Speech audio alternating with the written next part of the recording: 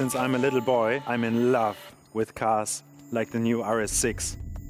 A normal estate and combine it with brutal sportiness. To be part of such a project is really a dream come true. We are creating two-dimensional sketches, then basically transfer it three-dimensionally. This CAD data gets milled into one-to-one model that has been handcrafted, milled to every detail. This is there to create the perfect illusion what the car will look like on the street. This is the proof that this is a model, because otherwise I couldn't take off the mirror.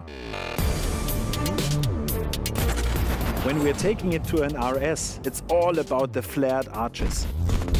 40 millimeters wider, 22 inch wheels, a bigger wheel diameter, creating this nice light on top of the fenders. The most important thing is the single frame. In the case of the RS6, it's sitting a lot lower.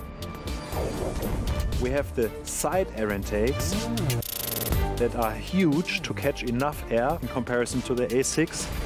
This is already a really beautifully shaped car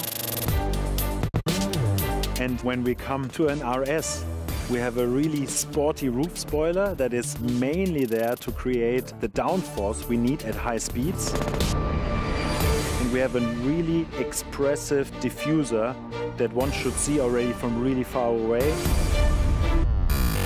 We have a really nice rocker sill as well with a black inlay.